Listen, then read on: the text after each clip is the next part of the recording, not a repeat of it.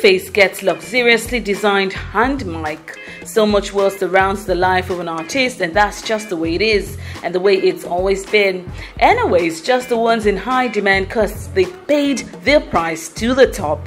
2Face Idibia got exquisitely designed luxury hand mic from Malivelihood and he displayed this on his Instagram page. It resembles that which the late pop king Michael Jackson uses for his performances.